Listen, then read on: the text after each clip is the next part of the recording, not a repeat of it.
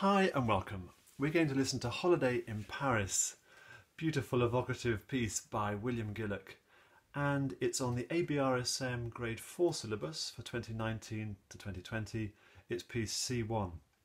And it's also published by Hal Leonard in their wonderful book 20th Century American Composers.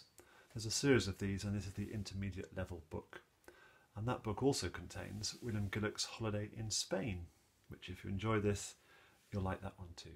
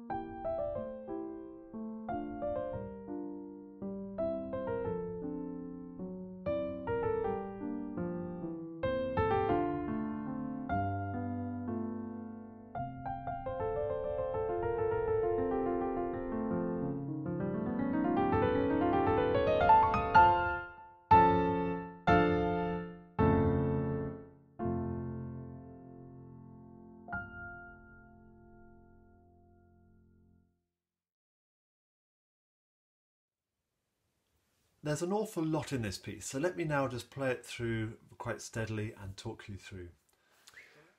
Well, thank you so much for watching. I hope you found that useful and it has shown at least a version of how one might play that piece.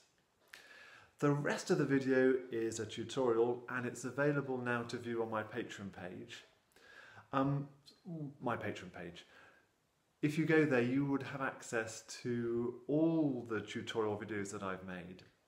And they will look at the detail, unpick the difficult bits, give you some ideas of how to practice them.